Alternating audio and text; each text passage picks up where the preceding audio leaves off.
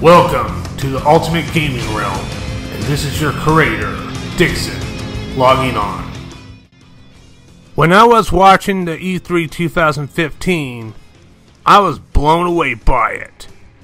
The Bethesda showcase had the most interesting experience of games announced out of all, such as Fallout 4 and the next Doom game. And oh yeah, do they both look fucking badass. And I'm already hyped for them both.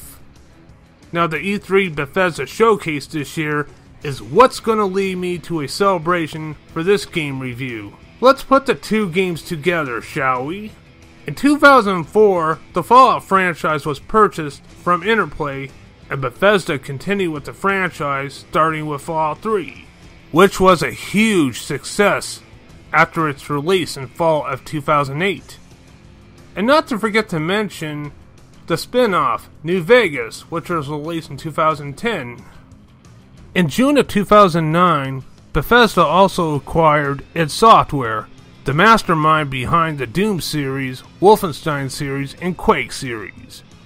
Now I know what you're probably asking what's the point? Well, since Bethesda now owns both id Software and the Fallout franchise, id Software made a new series called Rage.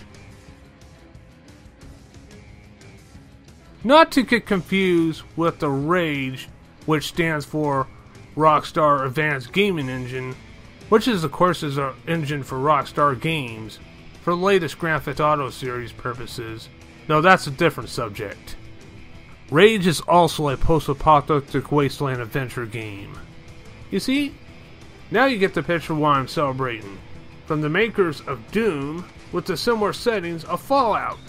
You guys get the picture now? Doom and Fallout. id Software, the creators of Doom, and Fallout with the settings in the wasteland. Add them both together. But unlike Fallout, Rage is not an RPG game. Even though it has some RPG elements in it, but it's not really an RPG game like Fallout. It's more targeted as a first person shooter game like other id games, Doom, Wolfenstein, and Quake. But what's even more kick ass about Rage, unlike Fallout, you can drive or even race in the wasteland, which I find that a kick-ass goal. Rage was originally announced in 2009, and it looked really amazing for the 2009 QuakeCon. And during the end of id Software's partnership with Activision, id was going to have EA publish it.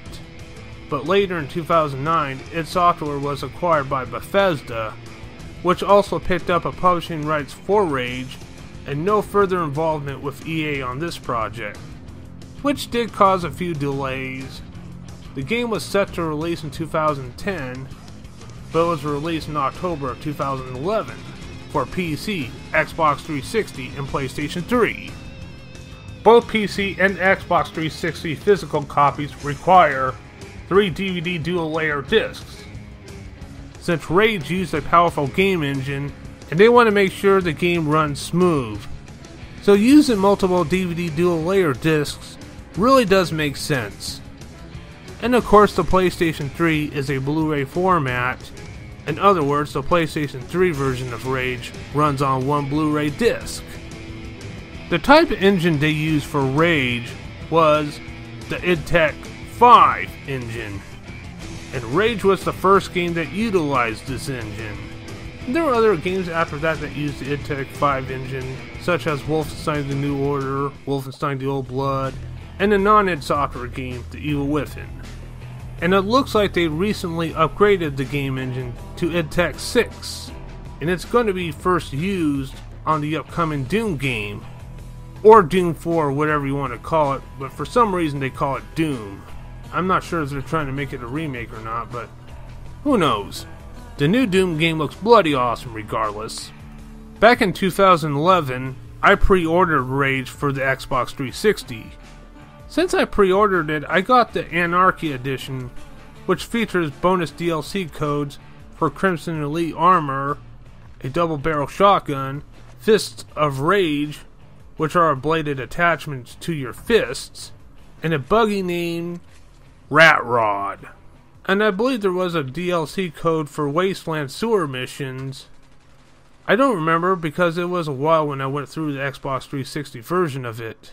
And I traded in for credit, so it's been a while for that version. But I recently played through the game for the second time on PC through Steam.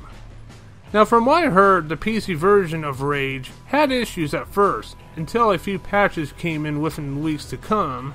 But I played it through recently, and I didn't have any issues, so I'm pretty sure they actually had all the issues fixed. As far as I can tell, that is.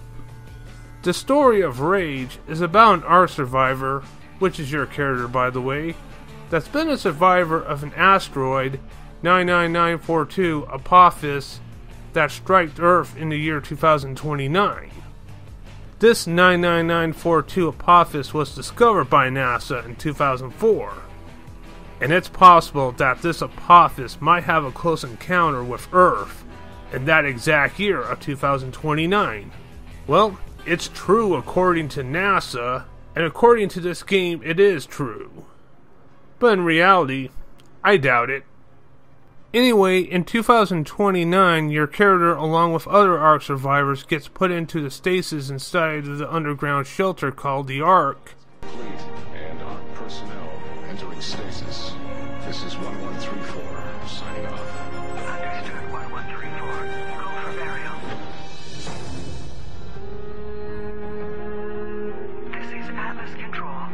Signing off.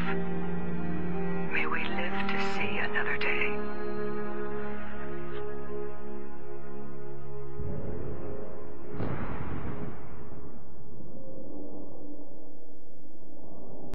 A 106 years later, in the year 2135, inside a damaged, decaying Ark, your Ark survivor wakes up from a cryogenic pod, but sadly, you're the only survivor from the damaged Ark.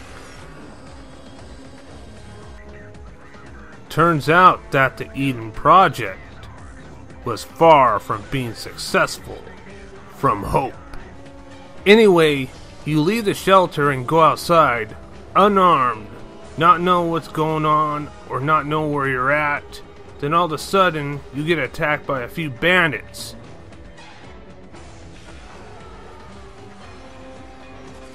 Then a wasteland settler by the name of Dan Hagar comes to your aid and wastes the bandits and gives you a ride in his vehicle.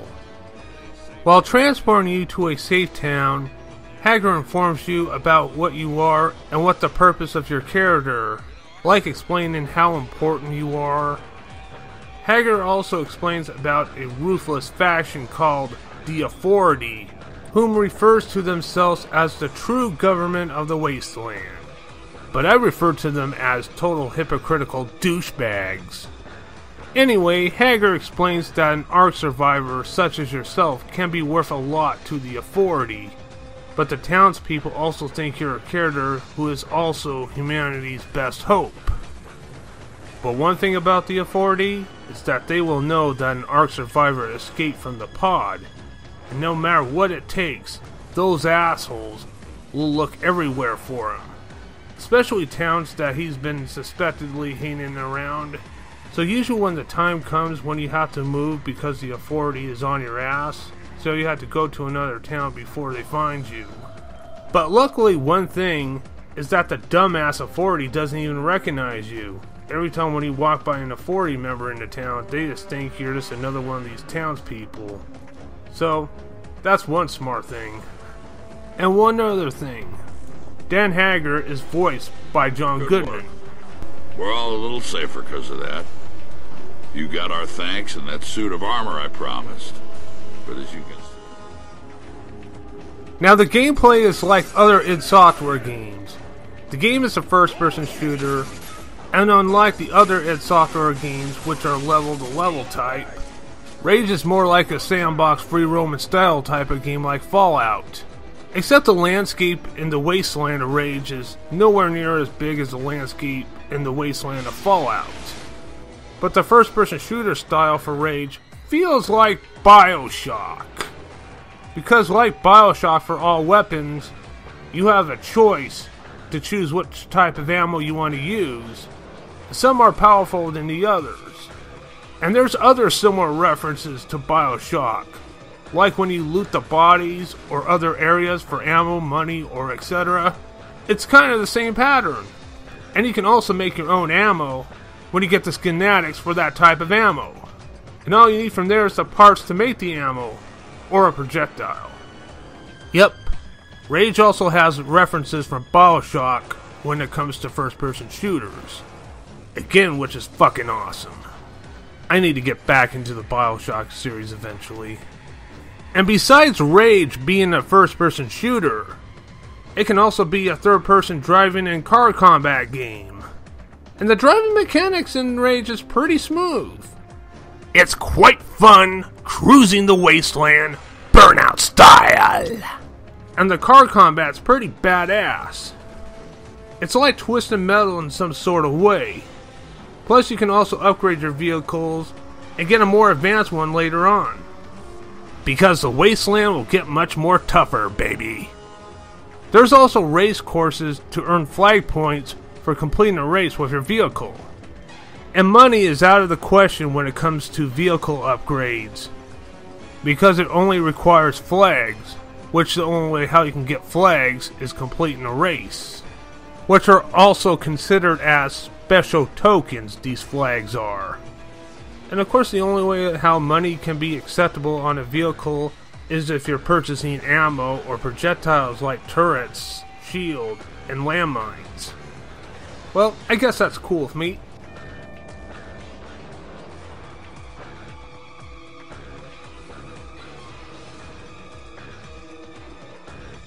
So far, I can say the gameplay mechanics and graphics for Rage are way better than Gearbox's Borderlands. Now, Borderlands is still a good game, except that one can get really boring and repetitive after a while. Like Rage, Borderlands is a first person shooter wasteland sandbox game. Well, except Wasteland's much bigger, with more of a cartoonish style and DLC. But the gameplay and control in Rage on both parts is much easier for me to deal with. But the better thing about Borderlands over Rage, or Fallout, is that in Borderlands, there's a co op mode for both local split screen or online multiplayer from up to four players. And the best way of playing Borderlands is multiplayer, no matter if it's local or online. Because the single player mode in Borderlands is not nearly as much fun as the multiplayer co op. I still think the Fallout franchise are still my favorite Wasteland series out of all.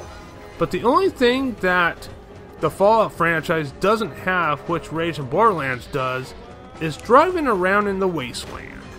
That's the only weakness of the Fallout franchise, but other than that, I like the Fallout franchise better. Also, my other favorite Wasteland series is the actual Wasteland series itself, which the first one inspired Fallout to begin with. Uh, okay, I think I'm getting overboard here, so let's get back to Rage. Now, Rage also has a multiplayer mode. Well, except that one's for online only. But I never did get into that part because you know me, I'm not much of a multiplayer person. So I'm afraid I have to say that I have no notes on the multiplayer part. I do apologize for that. The story is quite decent. Precisely after getting out of the pod from the Ark, and after Dan Hagar saves your ass from those bandits, he starts you up on your adventures. And you have to help out Dan, his townspeople, and the outrigger settlements in return, in order to gain trust and respect from each of them. And respect and trust is something you definitely need in order to advance further. So you're pretty much doing each other favors while you're hanging around in the town. Well, until the town gets nosy with these authority assholes hunting down an Ark survivor. And if I get made by the authority, that's not a good thing. So once that happens, Dan Hagar suggests I move on to another town, and he gets me associated with the head honcho of Wellspring. And Wellspring is much more of a bigger town, and the purpose of being in the town is first of all, you need to get a better armor of your choice to avoid being spotted by the authority. Now, this is a one time option, and each of the armor choices has special abilities, so it's better to choose wisely and choose the armor for your specialty. I choose the Wasteland armor, because I look like a local and I get discount on purchases, except for weapon upgrades, of course. You can also upgrade your armor too, so that's a good thing, because things will get much more nastier out there. I think I already said that, didn't I? And like the previous town, it's all about gaining trust and respect by doing favors or jobs for them. Wellspring Town has more stuff to do, like more jobs, or racing to earn flags for upgrades for your vehicle, or mini games like card game, finger fillet, or gambling, or anything related to gambling, and all sorts of other stuff. But sooner than later, the authority will be poking around in the town of Wellspring, and everybody in Wellspring hates them. Later in the game, you will be acquainted with a faction called the Resistance, and you will learn much more about the authority and what they're capable of from them. Then you will be forced to leave the town of Wellspring. The Resistance guides you through to another wasteland area called the Eastern Wastelands, which is much more darker than the other wasteland area. And the town you get brought into is the subway town, and it's much more darker than Wellspring. But once again, like the other towns, it's all about earning trust and respect. And Subway Town has pretty much the same minigame goals like in Wellspring. But when you talk to townspeople in Subway Town, you'll learn even more about how dark and corrupt the authority can be. And once again, sooner than later, the authority is going to be snooping around Subway Town looking for you. Those damn authority idiots never give up, don't they?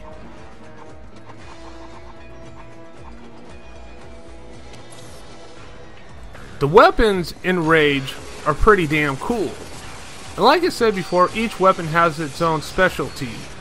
And one of my favorite projectiles I like using, especially for stealth attacks, is the Wingsticks. They're like boomerangs, they're retractable, but they're called Wingsticks.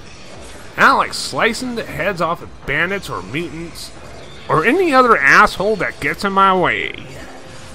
The worst villains in this game, of course, is the Authority. In the real world and other fictional worlds, in somewhat ways, depending on what type of authority that exists.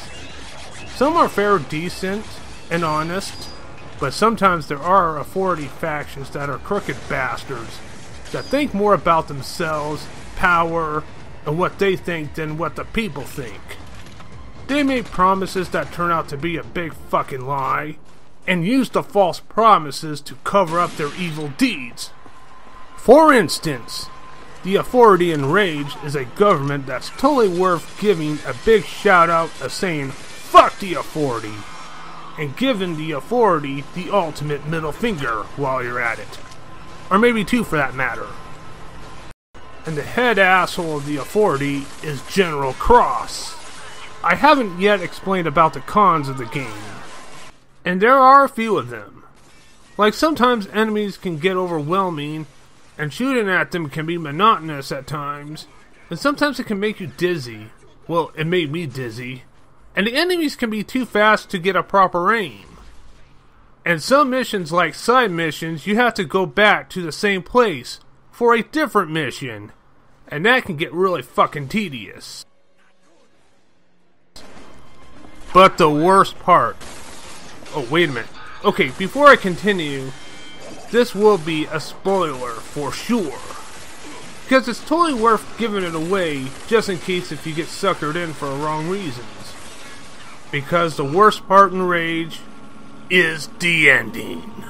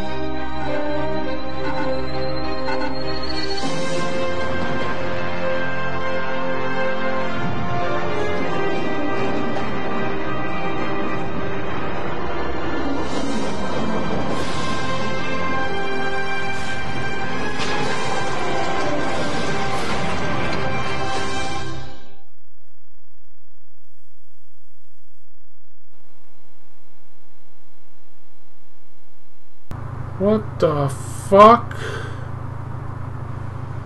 You gotta be fucking kidding me.